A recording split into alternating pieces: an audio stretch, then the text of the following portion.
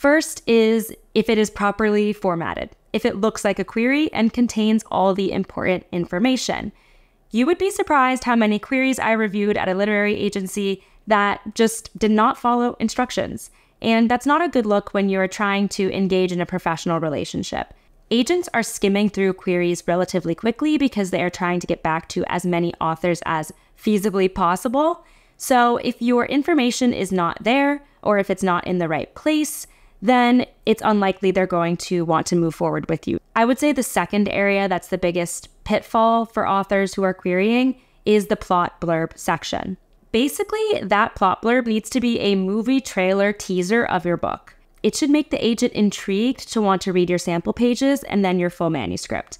If it doesn't do that, it's not doing the job it needs to.